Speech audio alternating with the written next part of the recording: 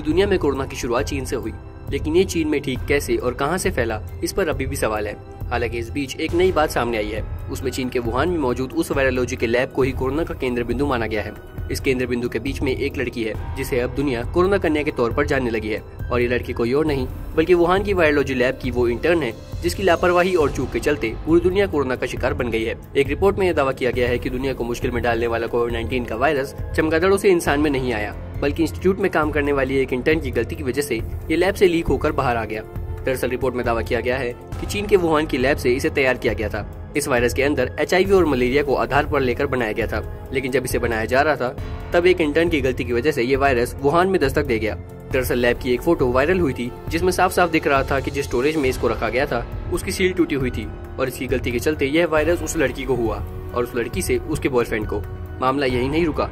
लड़की अपने बॉयफ्रेंड की फैमिली से भी मिली थी।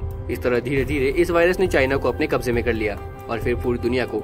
चीन का इस वायरस को बनाने का कारण तो पता नहीं चला, लेकिन चीन ये दिखाना चाहता था कि वह भी अमेरिका की तरह वायरोलॉजी को बनाने में सक्षम है। तो दोस्तों, कोरोना वायरस से जुड़ी ऐसी ही और भी कई खबरों को सबसे पहले जानने के लिए जुड़े रहे हमारे साथ। सब्सक्राइब करें हमारा चैनल ऐसी ही लेटेस्ट और इंटरेस्टिंग खबरों के लिए।